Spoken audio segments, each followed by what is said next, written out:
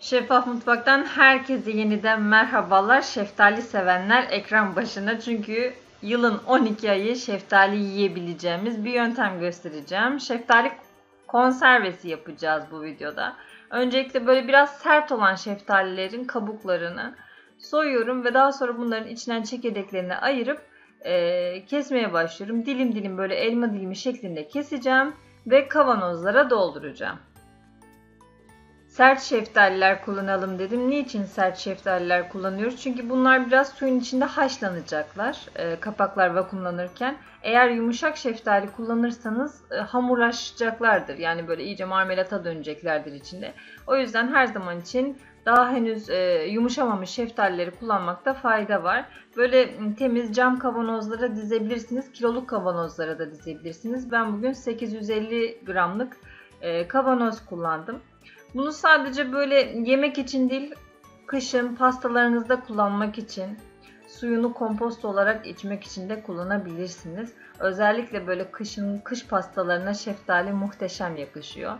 Hiçbir şekilde içinde katkı maddesi yok. Sadece şeker ve su ile birlikte tencerede kaynatacağız. Ne kadar şeker koyacağız? 850 gramlık ve 1 kilogramlık 1 kilogramlık kavanozlar için yarım su bardağı şeker kullanıyoruz.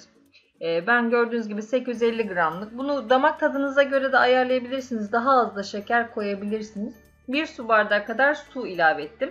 Tabi ne kadar fazla şeftali doldurduğunuza da bağlı. Şekerli suyu bir ocakta kaynatıyorum. Şeker içinde eriyor. Kaynayan suyumu şeftalilerimin üzerine döküyorum. İyice dolduruyorum. Çünkü şeftaliler biraz kaynayınca kendilerini çekecekler. Kapağını sıkıca kapatıyorum. Kapağın kenarlarında şeker olmamasına lütfen dikkat edin. Böyle bir tencereye ilave ettim. E, kavanozumu yerleştirdim ters bir şekilde ve yarısını geçecek kadar su ilave ediyorum ve ocağıma alacağım. Bunu yaklaşık 20 dakika boyunca kaynatacağım. 20 dakikanın sonunda fazla ellemeden e, masama alacağım ve kapağını tekrar sıkacağım. Bu çok önemli.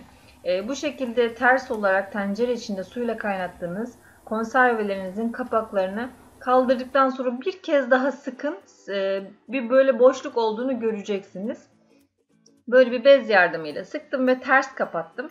Bunların sıcağını muhafaza etmesi önemli. O yüzden böyle bir e, bezle etrafını sardım. Daha çok yapacaksanız bir sofra bezinin altına da kapatabilirsiniz. Düdüklü tencerede de yapabilirsiniz. Yaprak sarma konservemde olduğu gibi yapabilirsiniz. Buraya ekliyorum linkini faydalanabilirsiniz. Bu 3 gün sonraki hali bakın böyle şeftalinin rengi hiçbir şekilde bozarmamış. Suyu gayet berrak. Kapakta içini çekmiş. Serin, e, karanlık bir ortamda bir yıl boyunca tazeliğini koruyacak olan konservemiz artık hazır. Umarım bu lezzetli tarifi dener ve beğenirsiniz. Beğenilerinizi bizimle paylaşırsınız. Bu ve bunun gibi birçok yararlı videoya kanalımdan ulaşabilirsiniz.